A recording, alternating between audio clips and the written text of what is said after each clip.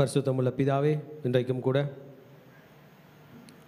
உம் நாமத்தின் மகிமைக்காக நாமத்தின் புஸ்தகம் இருபத்தி ஒன்பதாம் அதிகாரத்தை நீ தியானிக்க பாராட்டின கருவைக்காக நன்றி சொல்கிறோம் இந்த கரங்களில் எங்களை தாழ்த்தி அர்ப்பணிக்கிறோம். எங்களோட பேசும் எங்களோட இடைப்படும் உம் நாமத்தை நீ மையப்படுத்தி கொள்ளும். இந்த வார்த்தைகள் எங்களுக்கு பிரயோஜனமாக இருக்கட்டும் ஆண்டவரே. அப்பா நீ சொன்ன ஒவ்வொரு வார்த்தையும் ஒவ்வொரு ஆல்ஃபபெட்டுக்கும் ஆண்டவரே அதற்கு பவர் உண்டு அதற்கு வல்லமைகள் உண்டு அதை நாங்கள் முழுமையாக கீழ்ப்படிய வேண்டும். எங்களை தாழ்த்தி அர்ப்பணிக்கிறோம். வார்த்தையினுடைய ஒவ்வொரு சத்தியங்களையும் நாங்கள் ஏற்றுக்கொள்கிறோம் நாங்கள் அதை படித்து தியானித்து அவைகளுக்கு கீழ்ப்படுகிறோம். உம் நாமத்தை மயப்படுத்தி கொள்ளும். இயேசுவின் நாமத்தில் ஜெபங்களை எடுக்கிறோம். நல்ல பிதாவே. ஆமென். நம்ம அனைவரும் தயவுசெய்து உட்கார்வோம். ஷாலோம். நான் நம்ம ப்ரே பண்ணும்போது ஆல்ஃபபெட்டுன்னு சொன்னேன்ல. ஆல்ஃபபெட்டுன்றது இங்கிலீஷில் உள்ள ஏபிசிடியில் அந்த ஆல்ஃபபெட் அப்படின்றது இங்கிலீஷில் இங்கிலீஷ் வார்த்தை அல்ல. அது ஹீப்ரூ வார்த்தை. ஹீப்ரூவில் ஃபஸ்ட்டு லெட்டர் பேர் ஆலஃப் ரெண்டாவது லெட்டர் பேர் பெட் அந்த ஆலஃபும் பேட்டையும் சேர்த்து தான் ஆல்ஃபபெட் அப்படின்றாங்க. ஆமேன் எனக்கு ஞாபகம் வந்துச்சு. அதனால் நான் உங்களுக்கு சொல்லுகிறேன். ஆமேன் இன்றைக்கி இருபத்தி ஒன்பதாம் அதிகாரம் எப்படி பண்டிகைகளிலே காணிக்கைகள் செலுத்த வேண்டும் எப்படி பலிகள் செலுத்த என்பதை பற்றி அவர் நமக்கு சொல்லித்தர போகிறார். அருமையான வசனம். நேற்றுக்கு இருபத்தி எட்டில் நிறைய காரியங்கள் நீங்கள் படிச்சிருப்பீங்க. எப்படி இந்த ஃபீஸ்ட் செலிப்ரேட் பண்ண வேண்டும் என்பதை பற்றிலாம் சொல்லியிருப்பார். அதில் சிலவற்றை நான் டச் பண்ணிவிட்டு நான் உங்களுக்கு இந்த இன்றைக்கு இருபத்தொன்பதாம் அதிகாரத்தினுடைய ஜிஸ்டுக்கு நம்ம போவோம். அல்லேலூயா ஆமேன் ஆமாம் கத்தர் கொடுக்க வேண்டிய காணிக்கைகளை பற்றி சொல்லியிருப்பார். ஆமேன் இந்த லேவியர்கள் எப்படி காணிக்கை கொடுக்கணும் என்பதை பற்றி சொல்லியிருப்பார். நேற்று நேற்று டுவெண்ட்டி எயிட்டில் ஒவ்வொரு காணிக்கைகளை பற்றியும் ஒவ்வொரு பண்டிகைகளை பற்றியும் திரும்ப திரும்ப அவர் அதை சொல்லியிருக்கிறது நம்மால் காண முடியும். லேவியராகவன் புஸ்தகத்தில் எல்லாத்தையும் தெளிவாய் சொன்னவர் திரும்பி எண்ணாகமத்தின் புஸ்தகத்தில் அதை ரிப்பீட் பண்ண போகிறார் amen it it it's it means as if God is giving importance to it amen ஏன் ஆண்டவர் ஒரு விஷயத்தை திரும்பி திரும்பி ரிமைண்ட் பண்ணுவார்னா நம்ம திரும்ப திரும்ப மறந்துடக்கூடாது என்பதற்காக தான் அதை நமக்கு சொல்லி தருவார். இல்லை? எக்ஸாம் எழுத போகும்போது லாஸ்ட்டாக போகும்போது அந்த பேப்பரை திருப்பி அந்த ஃபார்முலாலாம் படிச்சிருவோம். கரெக்ட் தானே? அந்த ஃபார்முலா லாஸ்ட் மினிட்ல ஏன்? திரும்பவும் நினைவுக்கு வருகிறது. நான் லாஸ்ட் வீக் எக்ஸாம் எழுதும்போது அங்கே ஒரு சிஸ்டர் சொன்னாங்க. அவங்க என்ன பண்ணுவாங்களாம் போயிட்டு ஹால்குள்ளே போனதுமே நிறைய மனப்பாடம் பண்ணி வச்சுருப்பாங்களே அது அதெல்லாம் கொஷின் பேப்பரை பார்த்ததும் மறந்துடுமா அதனால் ஆன்சர் பேப்பர் தருவாங்கள்ல ஆன்சர் பேப்பர் கொடுத்ததுமே பென்சில் எடுத்து ஒரு ரெண்டு மூணு பேஜ் தள்ளி இல்லைனா காலி ஷீட் எடுத்து எதெல்லாம் ஞாபகம் டக் டக் டக் டக்கு டக்கு டக்கு டக்குன்னு அந்த ஷார்ட் ஷார்ட் ஷார்ட் ஷார்ட் ஷார்ட்டாக எழுதி வச்சுருவாங்களாம். ஏன்னா ஃபஸ்ட்டு கொஸ்டின் எழுதிட்ட பிறகு செகண்ட் கொஸ்டினோட ஆன்சர் மறந்து போயிடும். எதெல்லாம் மெமரியில் இருக்குதோ ஷார்ட் நோட்ஸ் எடுத்து எழுதி எழுதிப்பாங்களாம். எழுதி அப்படியே வச்சுட்டு அதுக்கப்புறம் தான் கொஸ்டின் பேப்பர் பிரித்து பார்ப்பாங்களாம் நான் மைண்டில் எதெல்லாம் மறந்துடுமோ அதெல்லாம் எழுதி வச்சோம் யோசிச்சு பார்த்தா வா சூப்பர் இது கூட நல்லா இருக்கு. இன்றைக்கு ஆண்டவர் நிறைய காரியங்களை நமக்கு திரும்ப திரும்பி ரிமைண்ட் பண்ண போகிறோம் why God is repeating his laws again and again because he want us to remember நிறைய விஷயத்தை நமக்கு ரிமெம்பர் பண்ணுவோம். இன்றைக்கி காலையில் நான் தூங்கி எழுந்ததுமே நம்மளுடைய குரூப்பில் வந்து லீவ் போடக்கூடாது லேட்டாக வரக்கூடாதுன்ற டாபிக் தான் ஓடின்னு இருக்குது. ஏன் திரும்பி திரும்பி ரிமைண்ட் பண்ணுறோம் பிள்ளைங்க மறந்துடுறாங்க. உலகம் நம்மளை அப்படி இழுத்துறோம் லாஸ்ட்டில் ஆண்டவருக்கு முக்கியத்துவம் கொடுக்காம எதுக்குனாலும் கொடுக்க போவோம். எதுக்குனாலும் கொடுக்க போவோம். We have we have own reasons ஆண்டவர் சொல்கிற நீ எத்தனை ரீசன் இருந்தாலும் you should give importance to frequent neglecting of important things திரும்ப திரும்ப முக்கியமான விஷயத்தை நம்ம நெக்லெக்ட் பண்ணிட்டே இருந்தோம்னா ஒரு நாள் நம்ம வருத்தப்படுகிறது போல நடக்கும். ஏன்னா நம்மளை நியூ ஜெனரேஷன் ஃபாலோ பண்ணுது. அடுத்த தலைமுறை ஃபாலோ பண்ணுது. ஓஹோ பண்ண வேணாம் போலக்குதே. மார்னிங் டியூஷன் இம்பார்ட்டன்ட் இல்லை போலகுது. சண்டே சர்வீஸ் வரலனா கூட பரவாயில்ல போலகுது. அப்படின்லாம் நெக்லெக்ட் ஆகக்கூடாதுன்றதுக்காக தான் ஃபர்ஸ்ட் இன்ஸ்டிடியூஷனில் இந்த பண்டிகையில் கொண்டாடின தேவன் திரும்பவும் திரும்பவும் செய்ய வேண்டும். When you get settled you should it hello இல்லையா நேற்றுக்கு ஒரு கணவன் மனைவி பிள்ளைகள் சேக்காடு திருச்சபையில் வந்து என்கிட்ட ப்ரே பண்ணிவிட்டு ஒரு காணிக்கை கொடுத்தாங்க. முதல் மாதம் சம்பளம் வேலைக்கு போய். ஏறக்குறைய ஏழு எட்டு வருஷம் வேலை இல்லாமல் வேலை கத்தர் கொடுத்து போயிடும் நான் சொன்னேன் நீ வேலை இல்லாதப்ப ஆண்டருக்காக ஊழியத்துக்கு வந்த பாஸ்டர் தோலா நின்ன. இப்போ வேலை கிடச்சிச்சு செட்டில் ஆகிட்ட இப்போ மறந்தியனா தான் டேஞ்சர் இப்போ கன்ஃபார்ம்டாக வேலை உன்னை காலையில் ஆறு மணிக்கு வர சொல்லும் நைட்டு பத்து மணிக்கு விடும். ஆனால் அன்னைக்கு எடுத்த பொருத்தனை இன்றைக்கு நிறைவேற்ற. இதை தான் சொல்ல when you get settled these ordinances has to be observe நீ செட்டில் ஆகிட்ட பிறகு இதை செஞ்சு தாங்கணும் இதுதான் நம்ம நேற்று இருபத்தெட்டாம் அதிகாரத்தில் படிச்சு படித்தோம் அல்லையா எப்படி காணிக்கைகள் செலுத்த வேண்டும்? இந்த லேவியர்கள் காணிக்கைகள் கொடுக்கும்போது வாலண்டியராக கொடுக்கணும். ஸ்வீட் சேவர் ஸ்வீட் அரோமா சுகந்த வாசனையாக இருக்கணும். அது வந்து பேர்ன்ட் ஆஃபரிங் சர்வாங்க தகன பலின்னு படித்தோம் மீல் ஆஃபரிங் போஜன பலின்னு படித்தோம் சமாதான பலின்னு படித்தோம் கம்பல்சரி அந்த ஆஃபரிங் பற்றி படித்தோம் அதுனா சின் ஆஃபரிங் பாவ நிவாரண பலி ட்ரெஸ் பாஸ் ஆஃபரிங் குற்ற நிவாரண பலி இதெல்லாம் நம்ம நீங்கள் படிச்சிருப்பீங்க. அதே போல் நியூ மூனில் எப்படி காணிக்க செலுத்தணும் அப்படின்லாம் படித்தோம் இஸ்ரேலர்களுக்கு ஆண்டவர் பண்டிகைகள் கொடுத்தார். எத்தனை பண்டிகை சொல்லுங்கள் பார்க்கலாம். ஒரு இமேஜ் ஒன்று போடுவாங்க. எத்தனை பண்டிகை? ஏழு பண்டிகைகள். ஹலலுயா ஆமென் கத்துடைய பண்டிகைகள் கொண்டாடலாமா? வேணாமா? எனக்கு தெரில நீங்கள் சொல்லுங்கள் எத்தனை பேர் கொண்டாடலான்றீங்க எத்தனை பேர் வேணான்றீங்க? ஆமேன். ஆமாம் ஏன்னா எனக்கு என்னமோ தோணுது மனிதர்களால் செய்யப்பட்ட வைத்ததை நம்ம நம்ம கொண்டாடும் பொழுது ஏன் கர்த்தரால் சொல்லப்பட்டதை நம்ம செய்யாமல் அதுக்கு ஆயிரம் கதைகள் சொல்கிறோம் எனக்கு பயமாக இருக்குது நான் அந்த விஷயத்தை டேஞ்சராக பார்க்க போகிறதில்ல பண்டிகை கொண்டாடுறேன் கொண்டாடுறேன். நம்மளாம் கொண்டாட்டோம்? அவன் தான் டெய்லி கொண்டாடுறோமே. நல்ல சாப்பாடு. அப்புறம் ஒரு நல்ல ஆராதனை. அவர் காலில் வந்துடுவோம் குடும்பம் குடும்பம். அவர் வந்து அப்பா மட்டும் ஆலயத்துக்கு கொண்டு போயிடு அம்மா மட்டும் ஆலயத்துக்கு கொண்டு போயிடு. குடும்பம் குடும்பம். குடும்ப தலைவன் வர வேண்டும். குடும்ப தலைவர்களை எப்படி கொண்டு வந்து நிறுத்தணுமோ சகோதரிகளே நீங்கள் பிளான் பண்ணு. நீங்கள் சொல்லுங்கள் நீ சர்ச்சி முடிகிற நேரத்தில் வந்து கூட என்ன பண்ணு? ஒரு ஜெபம் பண்ணிட்டு போயிடு. ஒரு சிலுவை போட்டுக்கிட்டு போயிடு. காணிக்க படைக்கும் போதாவது வா அப்படின்னு சொல்லணும்.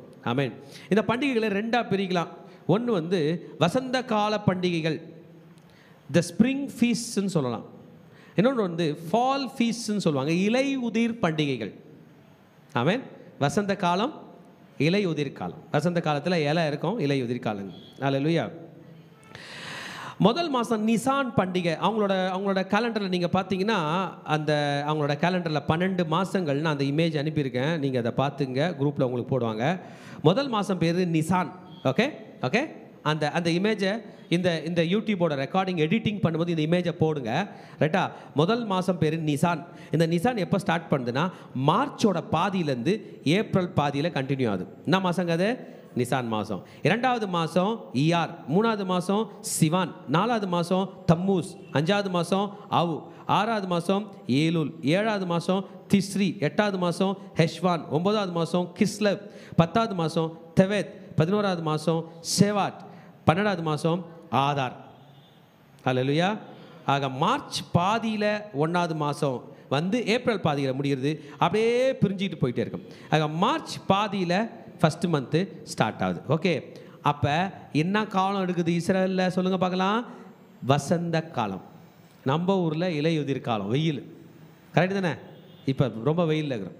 இப்போ இந்த வசந்த காலம் ஃபஸ்ட்டு பண்டிகை பேர் பாஸ் ஓவர் போன வாரம் தான் என்ன செலிப்ரேட் பண்ணோம்? பாஸ் ஓவர் அது எப்போனா நிசான் மாதம் பதினாலாம் தேதி பதினாலாம் தேதி மறந்துடாதீங்க. வருஷத்தில் எந்த பதினாலாம் தேதியை நீங்கள் ரொம்ப கொண்டாடுவீங்க சொல்லுங்க பார்க்கலாம் ஒரு பதினாலு. ஆ ஆனால் சிரிக்கிறீங்க. நவம்பர் பதினாலா? சொல்லுப்பா ஜனவரி பதினாலு. ஃபெப்ரவரி பதினாலு என்னது அது? நவம்பர்ன்றீங்க ஜனவரின்றீங்க ஆ? ஆனால் நமக்கு ஸ்பெஷல் இது நிசான் மாதம் பதினாலாம் தேதி. அந்த பதினாலாம் தேதி தான் பாஸ்ஓவர் பண்டிகை. என்ன பண்டிகைங்க? பஸ்கா பண்டிகை. பிள்ளைங்களை கவனிங்க அப்போ தான் புரியும். நவம்பர் மாதம் பதினாலாம் தேதி சாயந்தரம். எப்படி? பண்டிகை ஸ்டார்ட் ஆகுது. பதினாலாம் தேதி சாயந்தரம். சரி என்ன புரிஞ்சிங்க இந்த பதினாலாம் தேதி சாயந்தரம்னு சொல்கிறேன் பாருங்கள் நம்ம ஊரில் நாள் எப்போ தோங்கும் காலையில். அப்போ பதினாலாம் தேதி நம்ம ஊரில் எப்போ தோங்கும் காலையில். இஸ்ரேலில் பதினாலாம் தேதி சாயந்தரம் தோங்கும் அப்போ சாயங்காலம் நாளே நாள் என்ன பண்ணுது? ஸ்டார்ட் ஆகுது. அப்போ பதினாலாம் தேதி ஸ்டார்ட் ஆகுது. பதினாலாம் தேதி சாயங்காலம் பஸ்கா பண்டிகை. ஓகே நம்ம படித்து இருக்கிறோம். அதை பற்றி நான் டீப்பாக இப்போ சொல்ல வேண்டாம். அதில் கொடுக்க வேண்டிய காணிக்கைகளை பற்றி நம்ம படிக்க போகிறோம் ரைட்டா அந்த பதினாலாம் தேதி ஸ்டார்ட் ஆன பண்டிகை பதினஞ்சுலேருந்து ப்ளஸ் செவன் எத்தனை நாள்? ப- பிறகு ஏழு நாள். அப்போ மொத்தம் பண்டிகை பீரியட் எவ்வளோ எட்டு நாள். மறந்துட மாட்டிங்களே? ஓகே மறந்துட மாட்டிங்களே? பதினாலாம் தேதி திங்கக்கிழமை வந்தாலும் வெள்ளிக்கிழமை வந்தாலும் செவ்வாய்க்கிழமை வந்தாலும் புதன்கிழமை வந்தாலும் எந்த கிழமை வந்தாலும் பதினாலாம் தேதி பண்டிகை என்ன பண்ணிடும்? ஸ்டார்ட் ஆகிடும் ஓகே ஸ்டார்ட் ஆகிட்ட பிறகு அதன் பிறகு எட்டு நாள் இந்த பண்டிகைகள் வரும். ஹalleluya இந்த பண்டிகைகளுக்கு நடுவே கவனிங்க. இந்த பண்டிகைகளுக்கு நடுவே சரியாக பதினாலாம் தேதி தோங்குற இந்த பண்டிகைக்கு நடுவே மூன்று நாட்கள் கழித்து 72 டூ ஹவர்ஸ் கழித்து எத்தனை ஹவர்ஸ் கழித்து? 72 டூ ஹவர்ஸ் கழித்து. Amen feast of first fruits வரும். என்னது? ஃபீஸ்ட் ஆஃப் ஃபர்ஸ்ட் ஃப்ரூட்ஸ் அது என்னென்னா முதற் பலனின் பண்டிகை. ஆக இவங்களோட ஸ்ப்ரிங் ஃபீஸ் வச்சு படித்தாலே இவங்களோட வசந்த கால பண்டிகைகள் வச்சு படித்தாலே புதிய ஏற்பாட்டு காலத்தில் இயேசு பஸ்கா பண்டிகை அன்றைக்கு சிலுவையில் அறையப்பட்டு அடக்கம் பண்ணப்பட்டு சரியாக 72 மணி நேரம் கழித்து முதற் பலன் பண்டிகை கொண்டாடுற நேரத்தில் மரித்தோரிலிருந்து முதற் பலனாக இயேசு உயிரோடு எழுந்தார். இதுதான் வசந்த கால பண்டிகையுடைய ஸ்பெஷாலிட்டி முதற் பலன். நான் முதற் பலன்? கத்திரிக்காயா மாங்காயா வெண்டைக்காயா இல்லையா? செத்து போனவங்களை உயிரோடு எழுப்புறதுயா முதற் பலன் பண்டிகை. அது இல்லையா ஃபஸ்ட்டு காய் வந்துருச்சு. ஃபஸ்ட்டு பழம் வந்துருச்சு. எங்கள் அம்மா சொல்லுவாங்க முதல் முதல்ல எங்கள் வீட்டு தென்னை மரத்தில் பாலை விடுது ஃபஸ்ட்டு பாலை. அப்படியே நிறைய காய். லாஸ்ட்டில் ஒன்று தான் நின்றுச்சு ஒன்னே ஒன்று தான் ஓ இவ்வளோ இருந்துச்சேம்மா. அதெல்லாம் கொட்டிருச்சுப்பா. ஐயா எத்தனை நிற்கிது ஃபஸ்ட்டு அப்படி தானே நிற்கும் எடுத்ததும் நிற்காது அம்மா சொன்னாங்க கவலைப்படாத ஒரு மாதம் கழிச்சு என்ன பண்ணும்? இன்னொரு பாலை விடும். அதில் எத்தனை நிற்கும் மூணு காய் நினச்சி செகண்ட் பால். அதுக்கப்புறமா கொட்டவே கொட்டாது. ஒரே கொலையில் எத்தனை இருக்கும்? இல்லை ஒரு முப்பது நாற்பது தொங்கும். அதுபோல முதற் பலனாய் இயேசு உயிரோடு எழுந்தார். நம் அனைவரையும் உயிரோடு எழுப்புவது நிச்சயம். எத்தனை பேர் விசுவாசிக்கிறீர்கள்? ஆக வசந்த கால பண்டிகைகள் மூணு. பஸ்கா பண்டிகை எழுதிங்க. புளிப்பில்லாத அப்ப பண்டிகை முதற் பலன் பண்டிகை. என்ன பண்டிகைமா இது? வசந்த காலம். இது ஒன்றாவது மாதம் கரெக்டாக ஏழு மாதம் கழித்து ஒரு பண்டிகை வரும். ஏழு மாதம் கழித்து ஒரு மாதம் வரும். உங்கள் ஸ்க்ரீனில் இருக்கும். அந்த மாதத்து பேர் பாருங்கள் திஸ்ரீ முதல் மாதம் வரக்கூடாது. என்னதுங்க? நிசான். யாரெல்லாம் நிசான் கார் வச்சுக்கிறீங்க? நான் டேட்சன் கார் வச்சுருக்கேன் அந்த கம்பெனியோட ஒரு கோ பிராண்ட் மாதிரி என்ன இருக்குது நிசான். மறக்காதீங்க. ஃபர்ஸ்ட் மாதம் பேர் என்ன பேர்? நிசான். ரைட்டா ஏழாவது மாதம் பேர் திஸ்ரீ ஒரு இந்திய நாட்டில் ஒரு லாங்குவேஜோட பேர் சொன்ன மாதிரி தாங்க இது. இல்லை சைனீஸ் பேர் ஜாப்பனீஸ் பேர் மாதிரி இல்லை. எப்படி தாங்க இது? இல்லை தமிழில் கூட பேர் வச்சுக்கலாம்ல. திரி. திஷ்ரீ. ஓகே. திஷ்ரீ எத்தனாவது மாதம் பாருங்கல்ல ஏழாவது மாதம் ஏழாவது மாதம் வந்து ஃபால் ஃபீஸ் இலை உதிர் காலங்களின் பண்டிகை. அப்போ மரத்தில் என்ன இருக்காது? ஒரு ஏழா கூட இருக்காது. அதற்கு தான் எக்கால பண்டிகை. என்ன பண்டிகைங்க? முதல் நாள் முதலாம் நாள். என்ன பண்டிகை? சொல்லுங்கள் எக்கால பண்டிகை? பத்தாவது நாள் டே ஆஃப் அட்டோன்மெண்ட் பாவ நிவிற்த்தியின் பண்டிகை. எத்தனாவது நாள்? நோட் பண்ணிங்க. பத்தாவது நாள். அதுக்கப்புறம் பதினஞ்சாவது நாள் கூட ஒரு ஏழு செத்தா கூடார பண்டிகை. குழப்பம் இல்லாமல் சொல்கிறேன் திருஷ்டி மாதத்தோட ஃபஸ்ட் டே என்ன பண்டிகை? எக்கால பண்டிகை. ரைட்டா யோம் தெரு யோம் தெருரான் அதுக்கு பேர். ரைட்டா பத்தாவது நாள் Yom Kippur day of atonement பாவ நிவித்தின் பண்டிகை. பதினஞ்சாவது நாள் கணக்கு வச்சுக்கிட்டு பதினஞ்சு பதினாறு பதினேழு பதினெட்டு பத்தொம்போது இருபது இருபத்தி ஒரு நாள். இருபத்தி ஒன்றாம் தேதி வரைக்கும். அப்போ பதினஞ்சாம் தேதியிலேருந்து எத்தனை எத்தனை நாள்? ஏழு நாள் பண்டிகை தான். ஃபீஸ்ட் ஆஃப் டெபர்னக்கல் அது பேர் என்ன பேர்? சுக்கோத் வெரி குட் கலக்கிட்டீங்க கலக்கிட்டீங்க. எத்தனை பண்டிகை ஆச்சு இது வரைக்கும்? சொல்லுங்க தேவஜனமே. ஆறு பண்டிகை கொண்டாடி இருக்கோம். எத்தனை பண்டிகை? ஆறு பண்டிகை. ஆமென் எஸ் அந்த ஆறு பண்டிகைகள். கத்தர் நமக்கு ஆசீர்வதித்து கொடுப்பார் ராக. ஆறு பண்டிகைகள் கத்தர் நமக்கு கொண்டாடக்கூடிய கிருபையை தருவார். ஆமென் இப்போ முக்கியமான பண்டிகை. ஒரு ஒரு பண்டிகைகளோட பேர் உங்களுக்கு சொல்லிடுறேன். பாஸ் ஓவர்னா ஹீப்ரூவில் பேஷா என்று அர்த்தம். பேஷா. எக்கால பண்டிகைக்கு ரோஸ் ஹஷானான் பேர். பாவ நிவித்தின் பண்டிகைக்கு யோம் கிப்பூர்னு பேர். ஓகே கூடார பண்டிகைக்கு சுக்கோத்துன்னு பேர். எத்தனை பண்டிகை இது வரைக்கும் படித்தோம் சொல்லுங்க சீக்கிரம். ஆறு. ரைட்டா ரைட்டா சரி. இப்போ என்னோட கணக்குக்கு உங்களை வருக வருகன்று அழைக்கிறேன். இயேசு கிறிஸ்து அடக்கம் பண்ணப்பட்டது ஃபஸ்ட் டேன்னு வச்சா எத்தனை நாள் உயிர் தேடுறாரு மூணாம் நாள். கரெக்டாக அவர் சொன்ன மாதிரி. அந்த மூணாவது நாள் ஆக்சுவலாக என்ன பண்டிகை நடந்துன்னு இருக்கோம்? முதற் பலன் பண்டிகை. இஸ்ரேவலர்கள்லாம் காணிக்கை வந்து கொடுக்குறாங்க. இயேசு அங்கே பரலோக தேவனுக்கு காணிக்கையாக உயிரோடு எழுச்சிட்டார் ரைட்டா இந்த பீரியடில் மூணு பண்டிகை நடந்துருக்குது. பதினாலாம் தேதினா ஸ்டார்ட் ஆயிடுச்சு. பஸ்கா ஸ்டார்ட் ஆயிடுச்சு. அப்படியே ரெண்டாவது நாள் என்ன ஸ்டார்ட் ஆயிடுச்சு? புளிப்பில்லாத அப்போ பண்டிகை ஏழு நாள் நடந்துருக்குது. நடுவில் ஜீசஸ் உயிரோடு எழுப்பிட்டார். மூணு பண்டிகை முடிஞ்சிச்சு. முடிஞ்சிட்ட பிறகு ரைட்டா ரைட்டா நாள் கணக்கு வந்துருச்சா? ஒன்றாந்தேதி மூணாந்தேதி அப்புறம் ஒன் ஒன்றாவது நாள் மூணாவது நாள் அப்புறம் ஏழாவது நாள். கரெக்டாக இந்த ஒன்றாவது நாள் மூணாவது நாள் கன்ஃபியூஸ் ஆகாதீங்க. டுவெண்ட்டி ஃபோர் ஹவர்ஸ் கணக்கு வச்சுங்க. ஃபர்ஸ்ட் ஃப்ரூட் பலன் முடிந்த பிறகு ஃபீஸ்ட் ஆஃப் அன்லிவன் பிரெட் வருது அது ஏழாவது நாள். இயேசு கிறிஸ்து உயிர்த்தெழுந்ததிலிருந்து.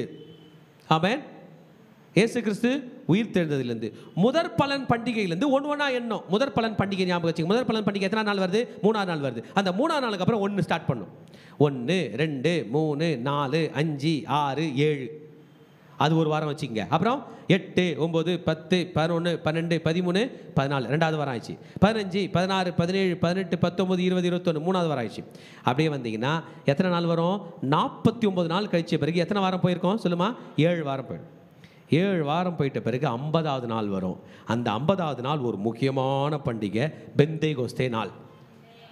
ஹலோ இல்லையா பென்டே கோஸ்டே பென்டகாஸ்ட் வாரங்களின் பண்டிகை.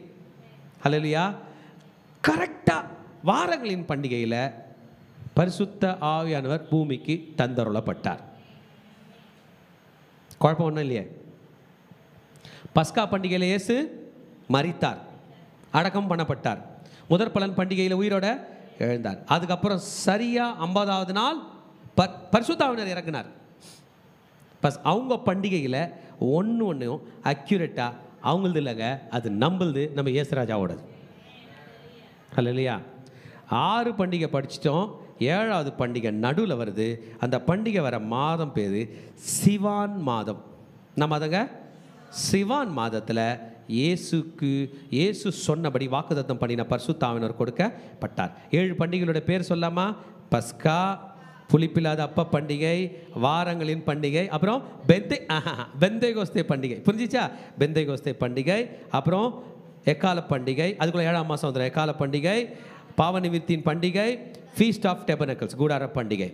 முதல் மாதம் மூணாம் மாதம் ஏழாம் மாதம் புரிஞ்சிச்சா? ஹலோ இல்லையா இதை கரெக்டாக எப்படி எக்ஸ்ப்ளனேஷன் பண்ணி இமேஜ் போடுவீங்களோ போடணும் உங்கள் வேலை எனக்கு அனுப்பியிருக்கீங்களா? சோத்ரம் குட் ஹாரிஸ் பிரதர் இந்த படத்தையும் போடுவார். ஓகே இன்னொரு இமேஜ் அனுப்பியிருக்காரு அதையும் போட்டுருவார். சரி. இப்போ பஸ்கா பண்டிகையில் ஆடு அடிப்பாங்க. நமக்கு யார் அடிக்கப்பட்டார்? இயேசு அடிக்கப்பட்டார்.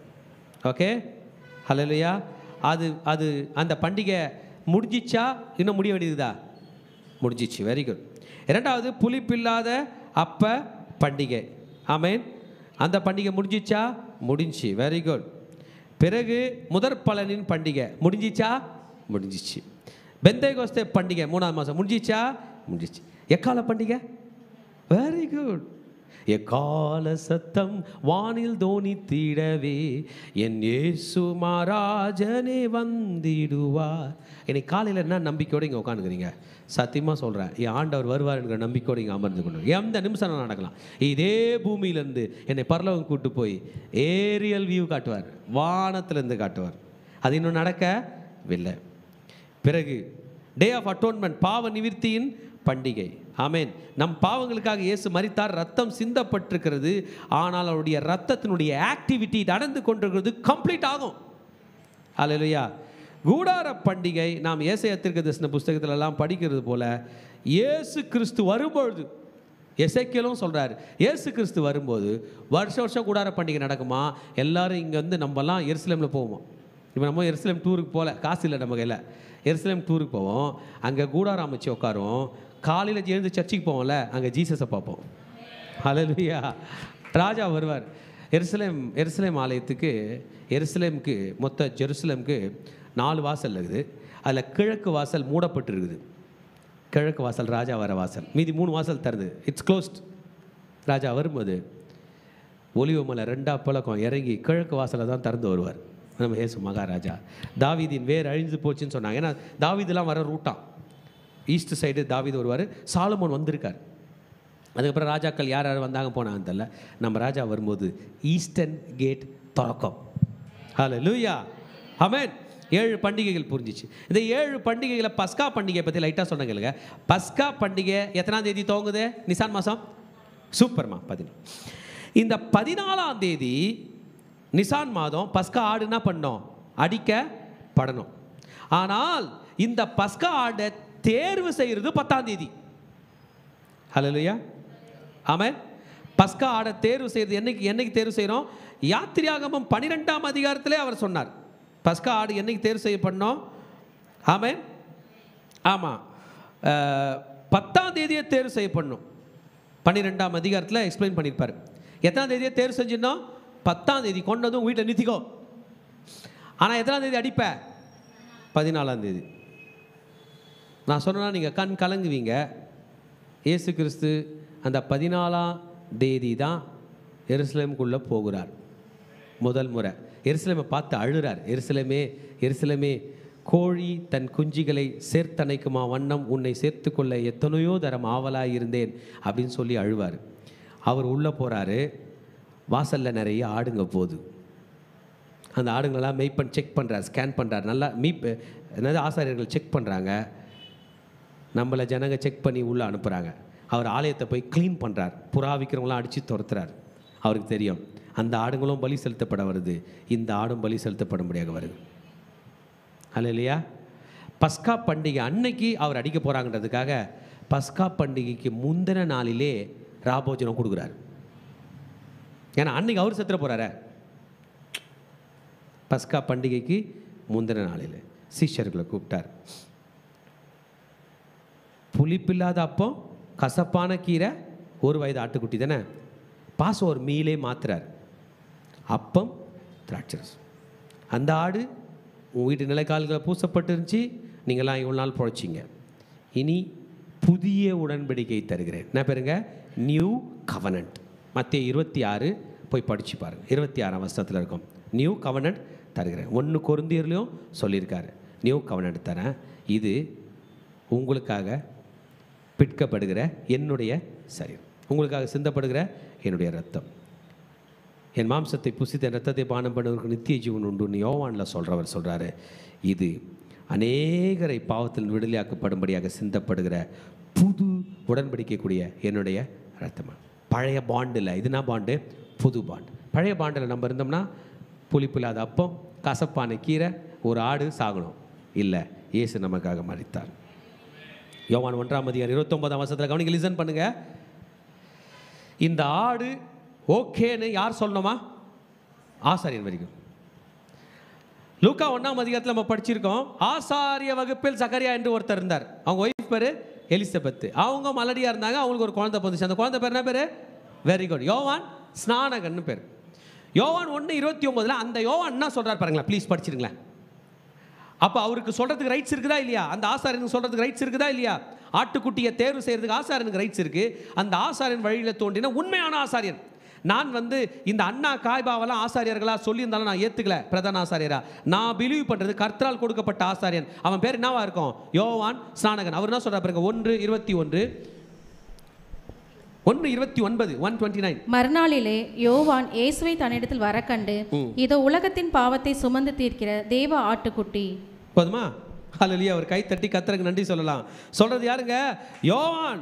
யோவான் ஸ்நானகன் யாரோட புள்ள? சகரியாவோட புள்ள. சகரியாரு ஆசாரிய வகுப்பில் அபியாவின் வழியில் வந்தவன். இதே தான் முப்பத்தி ஆறாம் வருஷத்துல யோவான் ரிப்பீட் பண்றார். இயேசு நடந்து வருகிறதை அவன் கண்டு இதோ தேவ ஆட்டுக்குட்டி. சூப்பரா? இதுக்கு மேலே வேற என்னங்க எவிடன்ஸ் வேணும்? ஒன்று கொரிந்தியரில் பவுல போஸ்தலும் கொருந்தியர்கள் நிருபத்தில் ஐந்தாம் அதிகாரம் ஏழாம் வருஷத்தில் சொல்லுகிறார் ஆகையால் நீங்கள் புளிப்பில்லாதவர்களாக இருக்கிறபடியே புதிதாய் பிசைந்த மாவாய் இருக்கும்படிக்கு பழைய புளித்த மாவை புறம்பே கழித்து போடுங்கள். ஏனெனில் படிங்க நம்முடைய பஸ்காவாகிய கிறிஸ்து நமக்காக பலியிடப்பட்டிருக்கிறாரே. இன்னைக்கு நீங்கள் இஸ்ரேலுக்கு போயிட்டு சார் பஸ்கா பண்டிகை கொண்டாடலாமாண்ணா? என்ன எடுத்துன்னு வருவாங்க? புளிப்பில்லாத அப்பம் அப்புறம் கசப்பான கீரை ஆட்டு இறைச்சி. ஆனால் பவுல்னா சொல்லிட்டாரு? பஸ்கா இப்போ மாறிடுச்சிங்க. நம்ம என்ன பண்ணுறோம் வாரம் வாரம் பஸ்கா கொண்டாடுறோம் சில சர்ச்சஸ்லாம் டெய்லி திருவிருந்து கொடுப்பாங்க. அப்பம் திராட்சை ரசம் கத்தருக்கு நன்றி சொல்ல போகிறோம். ஹலோ லூயா கைத்தட்டி ஆண்டவருக்கு நன்றி சொல்ல போகிறோம். இதுதான் பண்டிகைகள். ஆமேன் ஹலோ லூயா ஆமாம் இஸ்ரேலிலே ரெண்டு காலண்டர் இருக்குது. ஒன்று வந்து சிவில் காலண்டர் ஒன்று வந்து ரிலீஜியஸ் காலண்டர் ஓகே இதெல்லாம் நான் இப்போ டீப்பாக இப்போ பேச டைம் இல்லை. நம்ம நம்முடைய இருபத்தொன்பதாம் அதிகாரத்துக்கு வந்துட போகிறோம் இந்த பண்டிகைகளில் என்னென்ன காணிக்கைகள் கொடுக்க வேண்டும் என்பதை பற்றி அவர் பேச போகிறார். எடுத்துக்கலாமா?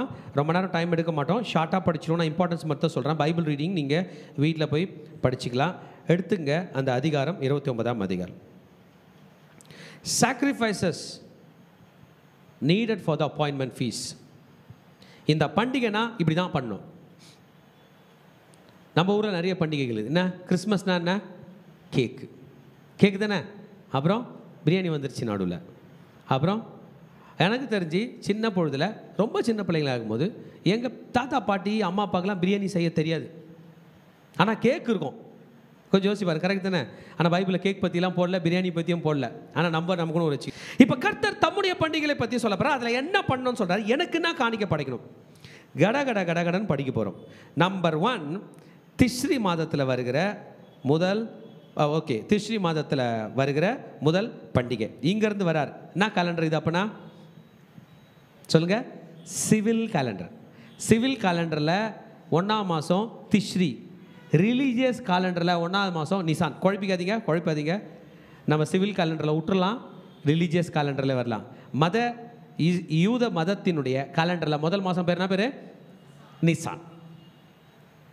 யூத மதத்தினுடைய ராஜாக்களுடைய ரிலீஜ் சிவில் கேலண்டரில் அதாவது கவர்மெண்ட்டில் உள்ள கேலண்டரில் முதல் மாதம் என்னது? திஸ்ரி ரைட் சில இடத்துல ஒன்றாம் மாதம்னு திஸ்ரி சொல்லியிருக்கோம் சில இடத்துல ஒன்றாம் மாதம் நிசான் சொல்லியிருக்கோம் குழம்பிக்காதீங்க.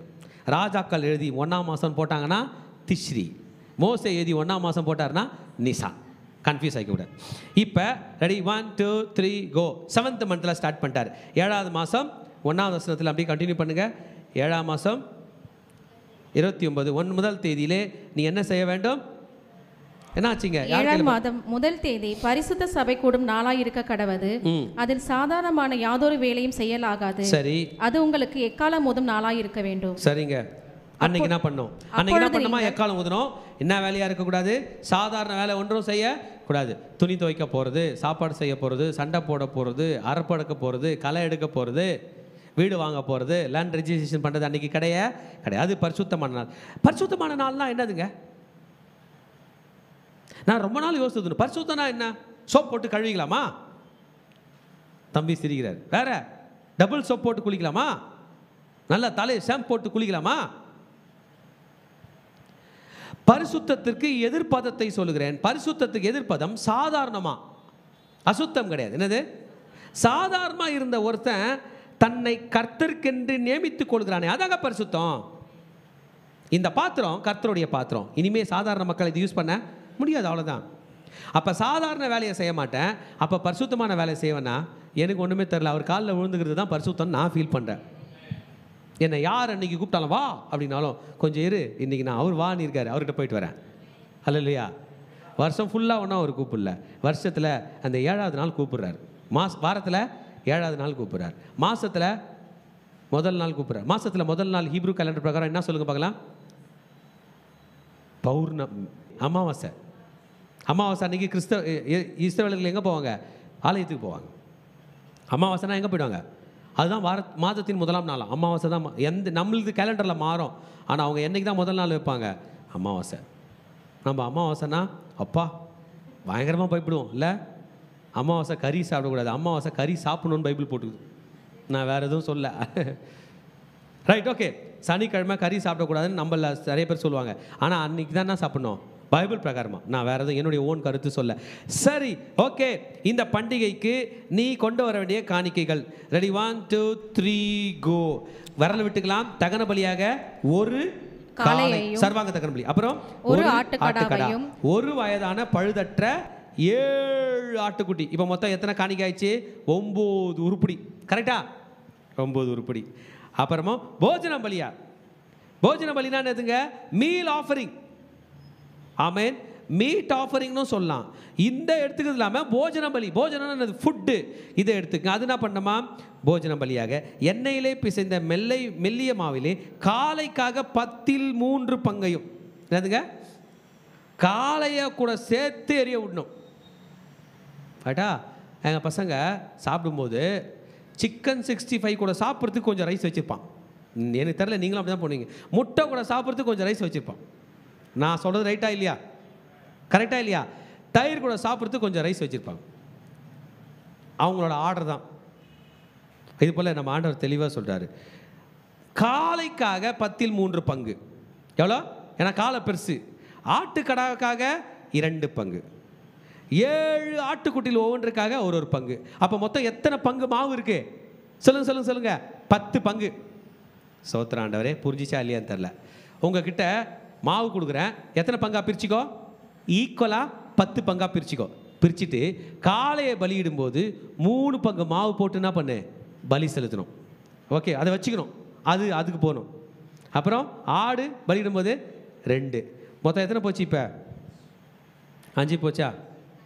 ஆமேன். காலைக்காக பத்தில் மூன்று அப்புறம் ஆட்டுக்கடாக்காக இரண்டு. ஏழு ஆட்டுக்குட்டியில் ஒவ்வொன்றுக்காக ஒரு பங்கையும் உங்கள் பாவ நிவர்த்திக்காக ஒரு ஆட் ஒரு வெள்ளாட்டு கடாவையும் செலுத்தி மாத பிறப்பின் சர்வாங்க தகன பலியும் அதன் போஜன பலியும் தினந்தோறும் இடும் சர்வாங்க தகன பலியும் அதன் போஜன பலியும் அவைகள் முறைமைக்கேற்ற பான பலியும் அன்றி இவைகளை ஸ்பெஷலாக செய்ய வேண்டும். டெய்லி ஆஃபரிங் இல்லாமல் இதை செய்யணும். இது எதுவா? சொல்லுங்கள் என்ன பண்டிகை? எக்கால பண்டிகை ஆமேன். இதனுடைய இதனுடைய ஃபுட் டீட்டெயில்ஸை பற்றி நம்ம இன்னொரு செர்மனில் பார்ப்போம் ஆனால் இதில் இத்தனையும் கர்த்தர் கொடுக்கும்படி சொல்லி இருக்கிறார். ஆமேன்.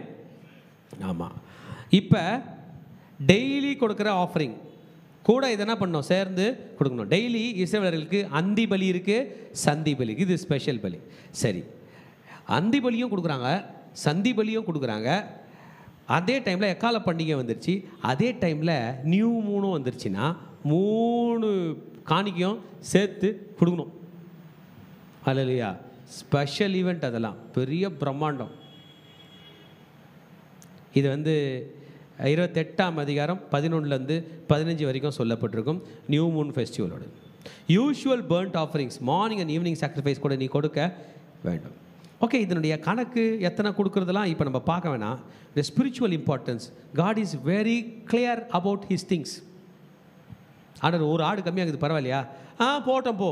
கிடையவே கிடையாது. ஆனால் என் ஆடில் கொஞ்சம் லைட்டாக ஒரு கால் ஒடிஞ்சிக்குது பரவாயில்லையா? நோ ஊழியம் செய்யும்போது மட்டும் ஆண்டவர் நிறைய காம்ப்ரமைஸ் பண்ணுறாரு உலகத்துக்கு நம்ம ஃபுல்லாக கொடுப்போம். கொஞ்சம் எதாவது டைம் இருந்தால் ஆண்டவரே வரட்டா? உடம்பு ஊருக்கெலாம் போயிட்டு வந்துட்டா வரட்டா? ஆனால் எல்லாம் முடிஞ்சிச்சு. வரட்டா no no no no dear children கத்தர் அழைச்ச அழைப்பு எவ்வளோ ஸ்ட்ராங்குன்றது நம்ம படிச்சுக்கிட்டு வரோம். மோசே ஆரோன் கையில் ஒரு டீல் பண்ணுறதே நமக்கு தெரியும். எகிப்தில் இளவரசனாய் வாழ்ந்த மோசையை தனக்கென அழைத்தார். அதுக்கப்புறம் அவருக்கு இளவரசன்னே பேர் கிடையாது. என் ஊழியக்காரன் என் தாசன். நீ உலகத்தில் இருக்கும்போது இளவரசன் இளவரசிகளாக இருக்கலாம். நான் தாழ்மையாக சொல்கிறேன் அவர்கிட்ட வந்துட்ட பிறகு நீ என் தாசன் நான் உன்னை உருவாக்கினேன். நீ என்னால் மறக்கப்படுவதில்லை. என் ஊழியக்காரன். அவர் ராஜாவாக இருந்தார்னா அவர் ராஜானா நான் பிரஜை. அவர் மெய்ப்பண்ணா நான் ஆடு.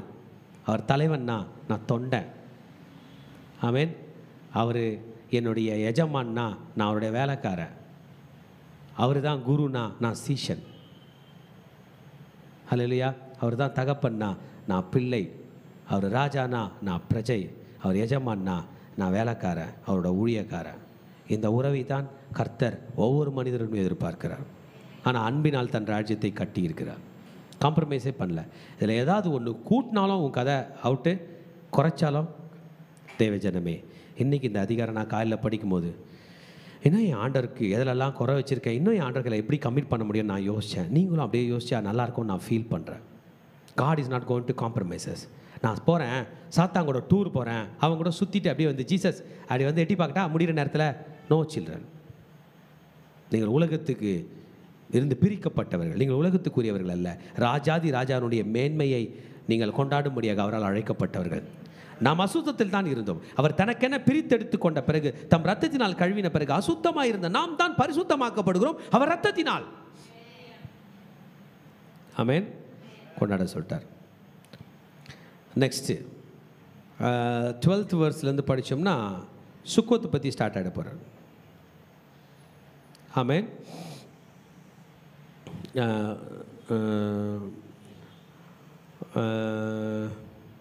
ஸ்தோத்திரம். இந்த மாதம் பத்தாம் தேதிக்கு வந்துட்டார். செவன்த்லேருந்து ஸ்டார்ட் பண்ணிட்டார். இல்லையா? ஆமேன் செவன்த் வர்ஸில் ஒன்றாம் தேதி ஒன்றாவது பண்டி முதல் ஒன்றாம் தேதி பண்டிகைக்கு அப்புறம் இந்த பத்தாம் தேதிக்கு வந்துட்டார். பத்தாம் தேதி படிக்கலாமா? பத்தாம் தேதியும் நான் கூடுதல் பரிசுத்த சபை கூட நாள் இருக்கும் அதில் நீங்கள் யாதொரு வேலையும் செய்ய வேண்டாம். ஒன்றாவது நாளும் செய்யாத பத்தாவது நாளும் செய்யாத. ஆ கர்த்தருக்காக சுகந்த வாசனையான சர்வாங்க தகன பலியாக ஒரு காலையும் ஒரு ஆட்டுக்கட்டாயம் ஒரு வயதான பழுதற்ற ஏழு ஆட்டுக்குட்டியில் அதே தான் ரிப்பீட் ஆகிற மாதிரி இருக்குது. அவைகளின் போஜன பலியாக எண்ணெயில் பிசைந்த மெல்லியில மாவிலை காலைக்காக பத்தில் மூன்று பங்கையும் அந்த ஒரு ஆட்டுக்கடாவுக்காக இரண்டு பங்கையும் பிறகு பத்தாம் வசனம் ஏழு ஆட்டுக்குட்டிகள் ஒவ்வொன்றுக்காக பத்தில் ஒரு பங்கையும் பிறகு பாவ நிவாரண பலியாக ஒரு வேளாட்டு கடாவையும் செலுத்தி பாவ நிவாரண பலியும் நித்திய சவராங்க பலியும் அதில் போஜன பலியும் அவையில் பான பலியும் அன்றி இவைகளையும் செலுத்த கடவைகள் எத்தனாம் தேதி? ஒன்றாம் தேதி பத்தாம் தேதி பதினஞ்சாம் தேதி. ஏழாம் மாதம் பதினைந்தாம் தேதி. திரும்ப உங்களுக்கு என்ன நாளாக இருப்பதாக? பரிசுத்த சபை கூடும் நாளாக இருக்கும். அதில் சாதாரணமான யாதொரு வேலையும் செய்ய நாளது ஏழு நாள் கத்திற்கு பண்டிகை ஆசரிக்க வேண்டும். இது இது எத்தனை நாள் பண்டிகை? ஏழு நாள். பைபிளில் ஏழு நாள் பண்டிகை எது எது? பஸ்கா பண்டிகை புளிப்பில் அது அப்போ பண்டிகை அது ஒரு ஏழு நாள். அப்புறம் seven days seven feast seven days feast அப்புறம் கூடார பண்டிகை அப்புறம் மூணாவது பஸ்கா. அது ஏழு நாள் பண்டிகை செலிப்ரேட் பண்ணுவாங்க. அப்புறம் வாரங்களின் பண்டிகையும் ஏழு நாள். அதுக்கப்புறம் கூடார பண்டிகை ஏழு நாள். ஓகே இந்த பண்டிகைகளுடைய காணிக்கைகள். எப்படி பிரம்மாண்டமாக இருந்திருக்கும் பாருங்களேன் எருசலேம் இந்த காலத்தில். சாலமோன் காலத்தில் தான் இந்த பண்டிகையை ரொம்ப மேக்ஸிமம் கொண்டாடிக்கிறாங்க. எஸ்ரா நெகேமியா காலத்துலேயும் கொண்டாடிருக்காங்க எப்படி இருந்திருக்கும் பாருங்களேன் அந்த ஏழு பண்டி இந்த ஏழு பண்டிகைகள் அதில் இந்த மூன்று பண்டிகைகள் ரொம்ப இம்பார்ட்டண்ட்டு மக்கள்லாம் பொதுமக்கள் அங்கே கூடி வந்திருப்பாங்க. எத்தனை நாள் அங்கே இருப்பாங்க? ஏழு நாள். ஆமென் அல்லையா எக்கால பண்டிகையில் கஸ்டமரி ஒர்க் பண்ண மாட்டாங்க. பிறகு டே ஆஃப் அட்டோன்மெண்ட்லேயும் கஸ்டமரி ஒர்க் பண்ண மாட்டாங்க. ஓகே இந்த இடத்துல நம்ம படிச்சிட்டோம். எத்தனை நாள் முடித்தோம் இப்போ? பத்தாவது நாள் முடித்தார் இப்போ பதினஞ்சாவது நாளுக்கு வந்திருக்கிறாரு. பதினஞ்சாவது நாள் என்ன பண்டிகை கொண்டாட போகிறாரு? கூடார பண்டிகை. ஏழாம் மாதம் பதினைந்தாம் தேதி உங்களுக்கு பரிசுத்த சபை கூடும் நாளாக இருக்க கிடவது. அதில் சாதாரணமான யாதொரு வேலை செய்யனாகாது. ஏழு நாள் கத்தருக்கு பண்டிகை ஆசரிக்க வேண்டும். அப்போ என்ன பண்ணோமா? காணிக்கை மட்டும் படிச்சிருவோம். நீங்கள் கத்தருக்கு சுகந்த வாசனை உள்ள சர்வாங்க தகன பலியாக பதிமூன்று காளைகளையும். இரண்டு ஆட்டுக்கடாக்களையும் ஒரு வயதான பழுதற்ற பதினான்கு. ஒரு காலை எத்தனை காலை ஆயிடுச்சு? பதிமூணு காலை ஆச்சு எனக்கு இதெல்லாம் ஏன் ஆண்டவர் பிரிக்கிறாரு போடுறாரு எனக்கு தெரியல. அவர் சொல்கிறத நம்ம என்ன பண்ண போகிறோம் செய்ய போகிறோம் இதனுடைய அண்டர்ஸ்டாண்டிங்ஸ் நமக்கு தெரியல. ஆனால் ஆண்டவர் அதை லிசன் பண்ண முடியும் சொல்கிறார் நான் லாஸ்ட் வர்ஸில் படிக்க போகிறோம் மோசை சொன்னால் இஸ்ரேல் ஜனங்கள் அப்படியே செய்தார். நம்முடைய ஃபியூச்சர் ஆண்டவருக்கு தெரியும். இஸ்ரேலுடைய ஃபியூச்சர் ஆண்டவருக்கு தெரியும். அதனால் ஆண்டவர் இதை பண்ணுனா அவங்க என்ன பண்ணிட்டாங்க?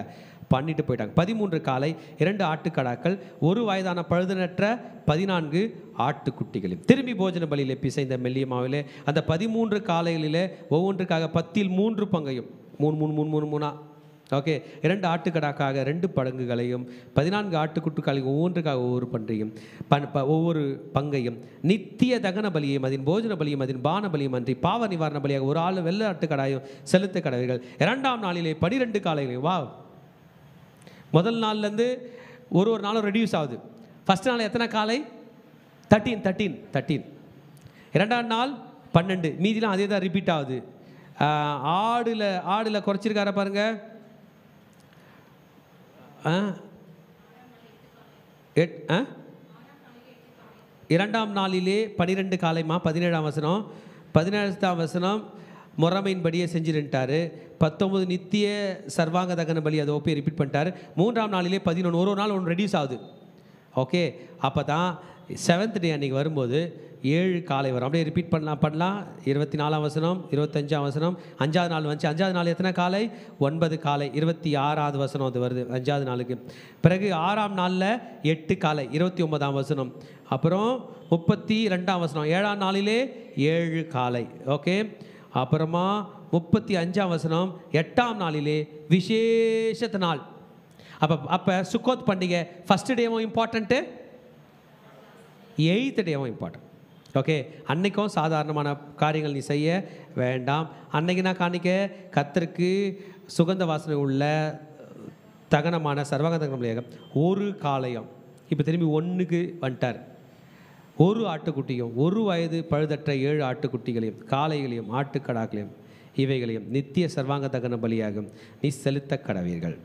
முப்பத்தி ஒன்பதாம் வசனத்தில் எப்படி கொடுக்கணும்னு சொல்கிறார் என்ன கொடுக்கணும் எந்த அளவு அப்படின்றது நம்மளால் இப்போ இப்போ சில நேரம் டீட்டெயில்டாக படிக்க முடியலனாலும் அது நம்மளால் அது அந்த காணிக்கை நம்ம இப்போ தராததுனால நாளும் but what is the heart that God is that God wants அப்படின்னு படித்தோம்னா முப்பத்தொன்பதாம் வசனத்தில் சொல்லுகிறார். படிங்க முப்பத்தொன்பதாம் வசனம்.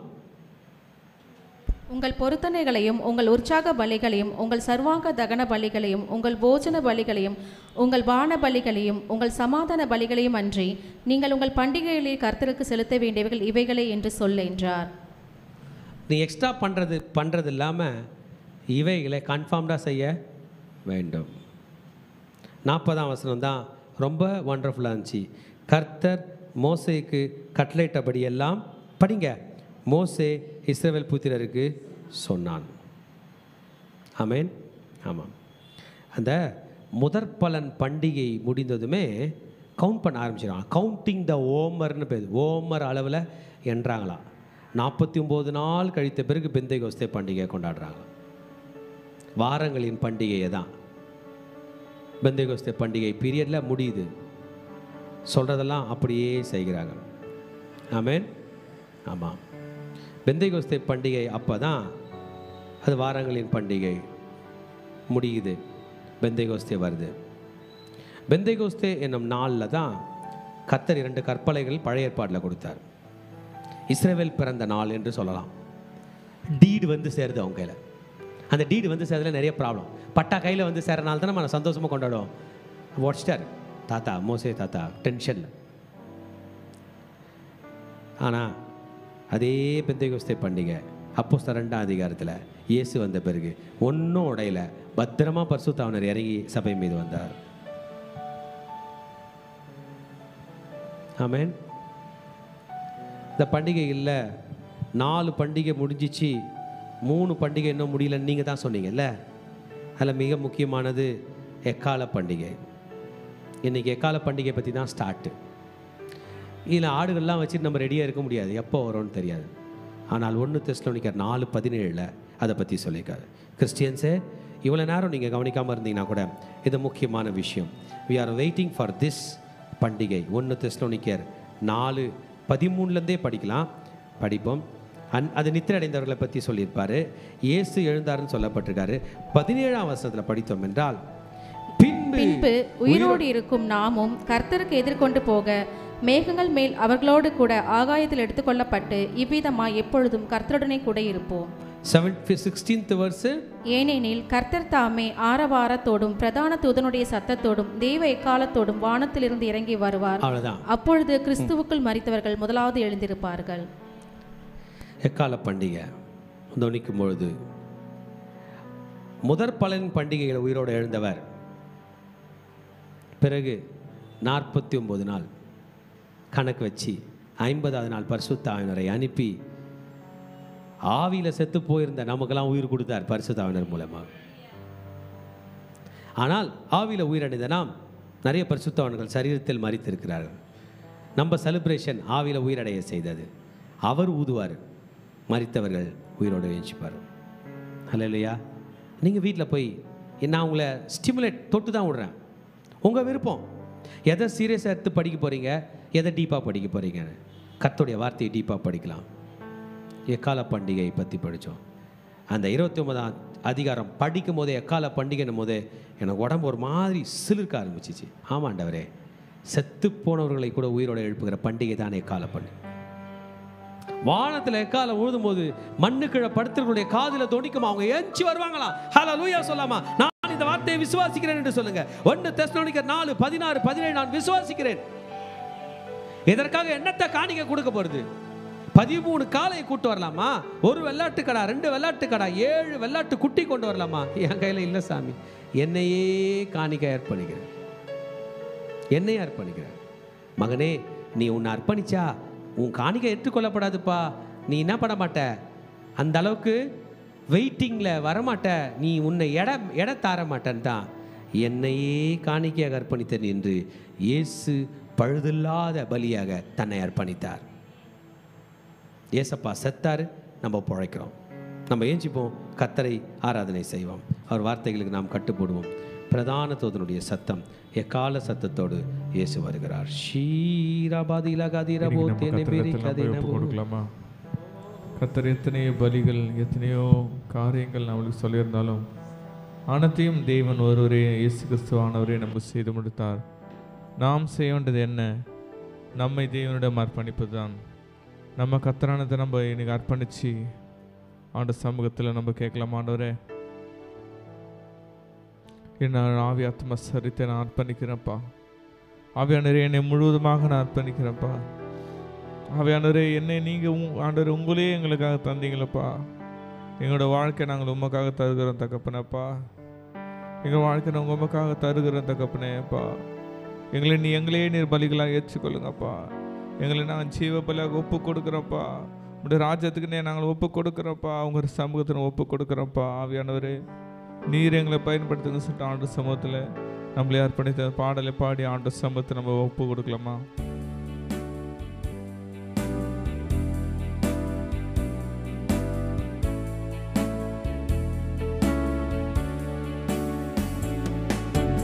அப்பா என்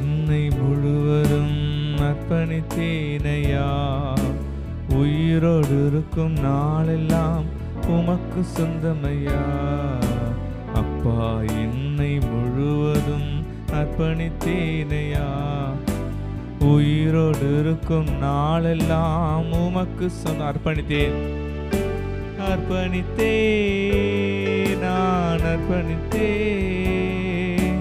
அர்ப்பணித்தே நான் அர்ப்பணித்தே என் ஆவி ஆத்ம சரீரம் அர்ப்பணித்தே என் ஆவி ஆத்ம சரீரம் அர்ப்பணித்தேன். அப்பா என்னை முழுவதும் அர்ப்பணித்தேனையா உயிரோடு இருக்கும் நாளெல்லாம் உமக்கு சொந்தமையா அப்பா என்னை முழு அர்ப்பணித்தேனையா? உயிரோடு இருக்கும் நாளெல்லாம் உமக்கு உள்ளமுடல் எல்லாமே. உள்ளமுடல் எல்லாமே உமக்கு தந்தேனையா? உள்ள முடல் எல்லாமே உமக்கு தந்தேனையா?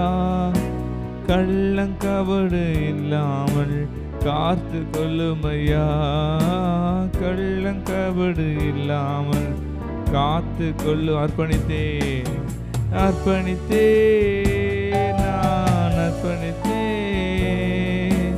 அர்ப்பணித்தே நான் அர்ப்பணித்தே என் ஆவி ஆத்ம சரீரம் அர்ப்பணித்தேன். என் ஆவி ஆத்ம சரீரம் அர்ப்பணித்தேன். என் ஆவி ஆத்ம சரீரம் அர்ப்பணித்தேன். நாங்கள் அர்ப்பணிக்கிறோம் தகப்பனே இந்த. வேலைக்காக உமக்கு நன்றி நன்றி நன்றி நன்றி நன்றி ராஜா. தேனாகமம் இருபத்தி ஒன்பதாம் அதிகாரம் மூலமாக அப்பா எங்களோடு இடைப்பட்ட கிருபைக்காக உமக்கு நன்றி செலுத்துகிறோம் தகப்பனே. இந்த நாளிலும் ஆண்டவரே அப்பா உம்முடைய சித்தம் எங்கள் மத்தியில் வார்த்தைகளாக வெளிப்படும்படியாக பரிசுத்த ஆவியானவரே எங்களுக்கு உதவி செய்யுங்கப்பா. இப்பொழுது முழுமையாக முற்றிலுமாக உடைய சமூகத்தில் எங்களை தாழ்த்தி ஒப்புக் கொடுக்கிறோம் நீர் ஆளிகை செய்து பலப்படுத்த போகிற கிருபைக்காக உமக்கு நன்றி செலுத்துகிறோம். துதியான மகிமை ஒருவருக்கு ஏறெடுக்கிறோம் ஏஸ்வின் ரத்தம் ஜெயம். ஏஸ்வின் நாமத்தினால் பிதாவே என் ஆகமம் இருபத்தி ஒன்பதாம் அதிகாரம் ஒன்றாம் வசனம். ஏழாம் மாதம் முதல் தேதி பரிசுத்த சபை கூடும் நாளாக இருக்க கடவது. அதில் சாதாரணமான யாதொரு வேலையும் செயலாகாது அது உங்களுக்கு எக்காலம் மோதும் நாளாக இருக்க வேண்டும். ஹalleluya. இந்த அதிகாரத்தில் நம்ம பார்க்கிறோம் ஆண்டவராக நம்ம ஏறெடுக்க வேண்டிய பண்டிகைகளை குறித்து குறிப்பிடப்பட்டுள்ளது. இதில் மூன்று பண்டிகைகளை குறித்து கர்த்தருடைய சமூகத்தில் நாம் கூடி வர வேண்டும் என்று குறிப்பிடப்பட்டுள்ளது. ஏனென்றால் இந்த கூடி வர வேண்டும் என்பது எதை குறிக்கிறது என்று பார்த்தால் கர்த்தரோடு நாம் இடைப்பட வேண்டும் என்று குறிப்பிடப்பட்டுள்ளது. இந்த எக்கால மூதும் பண்டிகை நாட்களிலும் சபையாக கூடி வர வேண்டும் என்று இந்த அதிகாரத்தில் குறிப்பிடப்பட்டுள்ளது. மேலும் இந்த ஏழாவது வசனத்திலும் பனிரெண்டாம் வசனத்தில் பார்க்கும் பொழுது இதே போலதான் சபையாக கூடி வர வேண்டும் பரிசுத்த நாளாய் அதை ஆசரிக்க வேண்டும் என்று குறிப்பிடப்பட்டுள்ளது. இந்த நாட்களில் கூட இயேசு கிறிஸ்து பிறந்த பொழுது அந்த எக்கால பண்டிகையில் பிறந்திருப்பார் என்று குறிப்பிடப்படுகிறது. இதைத் தொடர்ந்து பாவ நிவாரண பண்டிகை கொண்டாடப்படுகிறது. ஏனென்றால் கர்த்தர் நொறுங்குண்ட இருதயத்தை நோக்கி பார்க்கிறவராயிருக்கிறார். கர்த்தரோடு நம்முடைய உறவு எப்படிப்பட்டதா இருக்கிறது என்று பார்க்கிறோம். ஏனென்றால் பஸ்கா பண்டிகையில ஆண்டவராக இயேசு கிறிஸ்துவே நமக்காக ஜீவ பலியாக கிருபாதர பலியாக நமக்காக அவர் நம்மை தாமே ஒப்பு கொடுத்திருக்கிறார் இந்த நாட்களில் நாம் தேவனோடு நம்மளுடைய உறவு எப்படிப்பட்டதாக இருக்கிறது என்று நம்மை நாமே உயித்து ஆராய்ந்து பார்ப்போம். ஒருவேளை நம் தேவனை விட்டு பின்வாங்கி போன இருதயம் நமக்குள்ளாக காணப்படுகிறதா? என்று நம்மை நாமே ஒரு நிமிடம் உயர்த்து ஆராய்ந்து பார்க்கலாம். ஒருவேளை மக்களோடு நாம் உறவு எப்படிப்பட்டதாக இருக்கிறது? நாம் இந்த பண்டிகைகளை ஆசரிப்பதற்கு முன்பாக நம்முடைய இருதயம் எப்படிப்பட்டதாக இருக்கிறது என்று நாம் உற்று நோக்க வேண்டும். ஏனென்றால் மனம் திரும்புதலின் இருதயம் நமக்கு வேண்டும் என்று தேவன் எதிர்பார்க்கிறார். இப்போதும் தேவனுக்கு முன்பாக நாம் கடந்து வந்து தேவனோடு நம்முடைய உறவு எப்படிப்பட்டதாக இருக்கிறது என்று நம் இருதயத்தை தேவனிடத்தில் தாழ்மையோடு ஒப்பு கொடுத்து நம்ம அவரிடத்தில் அவருடைய சமூகத்தில் காத்திருந்து நம்முடைய இருதயத்தை பரிசுத்தப்படுத்தும்படியாக உலக பிரகாரமான பாவ இச்சைகளில் நம்மை விலகி காத்து கொள்ளும்படியாக பரிசுத்த ஆவியானவர் நம்முடைய இருதயத்தை பரிசுத்தப்படுத்தும்படியாக இப்பொழுதும் நாம் முன்பதாக கடந்து வருவோம்.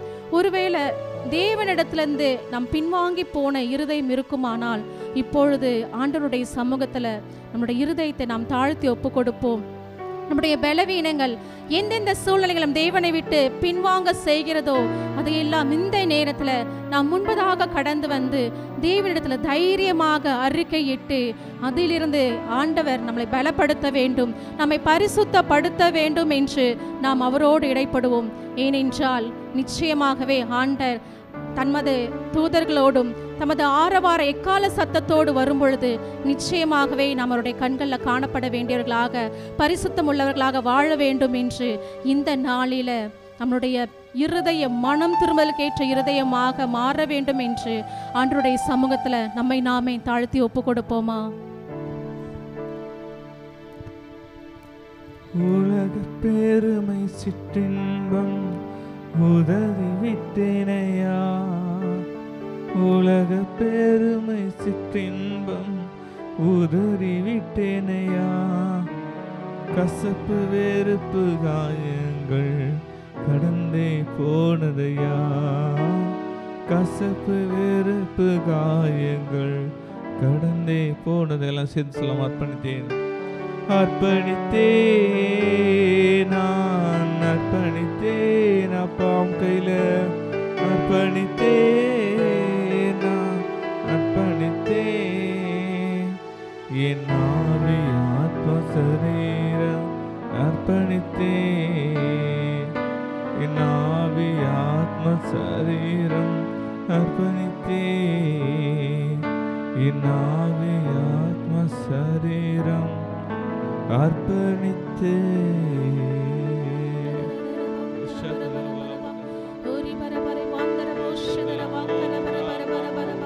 பரிசுத்தமுள்ள பிதாவே அப்பா இந்த வேலையில அப்பா எங்கள் இருதயங்களை உடைய சமூகத்தில் நாங்கள் தாழ்த்தி ஒப்பு கொடுக்கிறோம் தகப்பனே. அப்பா இந்த வேலையில அப்பா உம்மை விட்டு அப்பா உம்முடைய உறவை விட்டு உம்முடைய ஐக்கியத்தை விட்டு பின்வாங்கி போகக்கூடிய எல்லா சூழ்நிலைகளையும் இப்பா இந்த வேலையில நசரேனாகிய இயேசுவின் நாமத்தினால ஆண்டவரை அதை பரிசுத்தப்படுத்தும்படியாக நாங்கள் கெஞ்சுகிறோம் தகப்பனே. அப்பா உம்மோட உம்மோட உ- நெருங்கிய உறவோடு உம்முடைய ஐக்கியத்தோடு நாங்கள் காணப்பட அப்பா நாங்கள் உம்முடைய வருகையில பரிசுத்தமாய் காணப்பட. ஆண்டவரே இந்த நாளில எங்கள் இருதயத்தை பின்வாங்கி போன எங்கள் இருதயத்தை ஆண்டவரே நீங்கள் பரிசுத்தப்படுத்துங்க தகப்பனே. ஓஷல ரபாந்தர பாக்கர பரபா பரிசுத்த ஆவியானவரே இந்த நாளில எங்களுக்கு உதவி செய்யுங்கப்பா. அப்பா உலக பிரகாரமான பாதைகளில் நாங்கள் சென்று அப்பா உம்மை மறந்து ஆண்டவரே உம்முடைய வழிகளை விட்டு தூர போயிருந்தோமானால் ஆண்டவரே இந்த வேலையில் எங்களை அர்ப்பணிக்கிறோம் தகப்பனே. அப்பா உம்முடைய சமூகத்தில் எங்களை தாழ்த்தி ஒப்பு கொடுக்கிறோம். ஆண்டவரே அப்பா இதோ வருகின்ற நாட்கள்ல உமக்கென்று நாங்கள் பரிசுத்தமுள்ள சந்ததிகளாக காணப்பட அப்போ ஒவ்வொரு நாளும் உம்முடைய சபை கூடி வரும் நாட்களை ஆண்டவரை நாங்கள் முக்கியத்துவத்தை கொடுக்கும்படியாக அர்ப்பணிக்கிறோம் ஆண்டவரே. எங்களை உம்முடைய சமூகத்தில் நாங்கள் தாழ்த்துகிறோம். எங்களை பரிசுத்தப்படுத்துங்கப்பா. அப்பா உலக மக்களின் பேச்சுக்கள். ஆண்டவரே எங்களை உங்களை விட்டு பின்வார்க்கத்துல கொண்டு போகுமானால் அதை இந்த நேரத்தில் எங்களை விட்டு தூரப்படுத்தும்படியாக நாங்கள் கெஞ்சுகிறோம் தகப்பனே. உலக பிரகாரமான இச்சைகள் உம்மை விட்டு தூரப்படுத்துமானால் இந்த வேளையில ஆண்டவரை அவைகள் எங்களை விட்டு அகலும்படியாக நாங்கள் ஜெபிக்கிறோம் தகப்பனே. உடைய பரிசுத்த ஆவியானவர் தாமே. அப்பா எங்களோடு இடைப்பட போகிறதற்காக மை ஸ்தோத்தரிக்கிறோம்ப்பா இந்த நாளில ஒரு விசை உடைய சமூகத்தில் எங்களை தாழ்த்துகிறோம்ப்பா எந்தெந்த இடங்களை அப்பா உம்மை விட்டு உம்முடைய ஐக்கியத்தை விட்டு ஆண்டவரை நாங்கள் பின்வாங்கி போகிற காரணங்கள் இருக்கிறதோ அவை எல்லாவற்றையும் பரிசுத்த ஆவியானவரோட உதவியோட இந்த நேரத்துல பரிசுத்தப்படுத்தி கொண்டிருக்கிற கிருபைக்காக உமக்கு நன்றி செலுத்துகிற தகப்பனே. அப்போ உம்முடைய சமூகத்துல கூடி வருகின்ற நாட்களை ஆண்டவரை நாங்கள் சாதாரணமாக எண்ணக்கூடாதபடி அதை பரிசுத்தமாய் ஆசரிக்க எங்களுக்கு கற்றுத்தாங்கப்பா. இந்த வேளையில முழுவதுமாக முற்றிலுமாக எங்கள் ஆவி ஆத்துமா சரீரத்தை உம்முடைய கரத்துல ஒப்பு கொடுக்கிறோம். நீ பரிசுத்தப்படுத்தின கிருபைக்காக உமக்கு நன்றி செலுத்துகிறோம். துதி கன மகிமை ஒருவருக்கே எடுக்கிறோம் இயேசுவின் ரத்தம் ஜெயம். இயேசுவின் நாமத்தினால் பிதாவே. ஆமென். ஆமென். எபிரேயர் ஒன்பதாம் அதிகாரம். பதினான்காம் வசனத்தில் நித்திய ஆவியினாலே தம்மை தாமே பழுதற்ற பலியாக தேவனுக்கு ஒப்பு கொடுத்த கிறிஸ்துனுடைய இரத்த ஜீவனுள்ள தேவனுக்கு ஊழியம் செய்வதற்கு உங்கள் மனசாட்சியை செலுத்த கிரி கிரிகள் அற சுத்திகரிப்பது எவ்வளவு நிச்சயம்? இந்த வசனத்தில் பார்க்கிறோம் இயேசு கிறிஸ்துவே அவரே பழுதற்ற பலியாக ஒப்பு கொடுத்து இருக்கிறார் என்று இந்த நேரத்தில் நம்ம பார்த்தோம் அநேக பலிகளை குறித்து பழைய ஏற்பாட்டில் சொல்லப்பட்டிருந்தது. ஆனால் இந்த நாளில் ஆண்டவர் அவரே பழுதற்ற பலியாக நமக்காக ஒப்பு கொடுக்கப்பட்டிருக்கிறார் இந்த நாளையும் நம்மள நாமையும் ஆண்டவர்கிட்ட ஒப்பு கொடுக்கலாமா இந்த நாளில் ஆன்லைனில் பார்த்து கொண்டு இருப்பவர்களும் நேரில் இருக்கிற நம்ம முன்பாக கடந்து வரலாம். நம்மளை ஒப்பு ஆண்டவர் இந்த நாளில் நம்மளே உயிர்ப்பிக்க அவர் வல்லவராய் இருக்கிறார். நம்ம முன்பாக கடந்து வரலாம். ஆண்டவர்கிட்ட ஒப்பு கொடுக்கலாம்.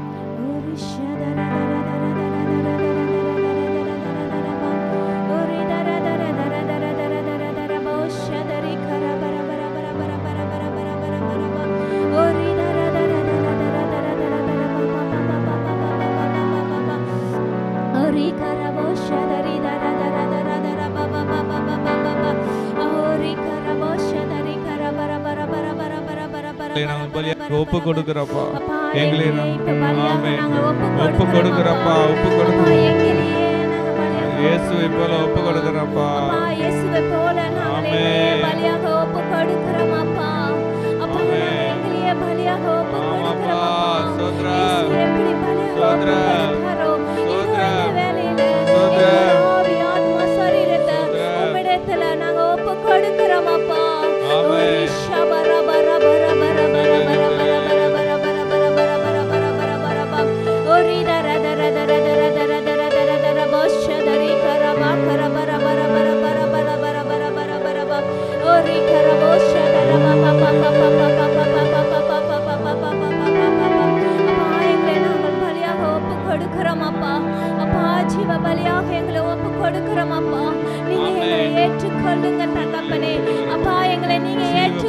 அப்பா உமக்கென்று எங்களை எடுத்து நீங்க வல்லமையா. பயன்படுத்துங்கப்பா அப்பா எங்களை ஜீவ பலியாக உம்மிடத்துல ஒப்பு கொடுக்கிறோம் அப்பா நீங்க எங்களை ஆளுகை செய்யுங்க அப்பா எடுத்து வல்லமையா நீங்க பயன்படுத்துங்கப்பா.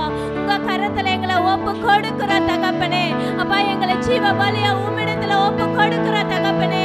அப்பா நீங்க எப்படி பலியாக அப்பா ஒப்பு கொடுத்தது போல இந்த நாள்ல எங்களை ஒவ்வொருவரையும் நாங்க ஒப்பு கொடுக்கிற தகப்பனே. நீங்க எங்களை ஆளுக நீங்க செய்யுங்கப்பா. உங்க கரத்துல எங்களை ஒப்பு கொடுக்கிற தகப்பனே. அப்பா எங்களை முழுமையா ஒப்பு கொடுக்கிறோம் அப்பா. முழுமையா ஒப்பு கொடுக்கிறோம் அப்பா. நீங்க வல்லமையா எடுத்து நீங்க பயன்படுத்த உங்க ரத்த கோட்டைகளை நீங்க மூடி மறைத்து கொள்ளுங்க. இயேசுவின் ரத்தம் ஜெயம் இயேசுவின் நாமத்தில் பிதாவே. Amen amen amen amen. Hallelujah ஹalleluya ஹalleluya ஷாலோம் ஷாலோம் ஷாலோம்